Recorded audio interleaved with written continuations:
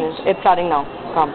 Hi, my name is Sukhmani Sadana. I'm 25 years old. I am. Uh, I was born in Amritsar, and I've been in Bombay for the last four years. I actually came here to do a course in advertising marketing in Xavier. And um, after that, I had no intention of staying back, but I got a job with Ogilvy and Mather, and um, one of the best advertising agencies in Bombay. I worked there, and I worked with MTV channel, music channel, as a scriptwriter for about a year.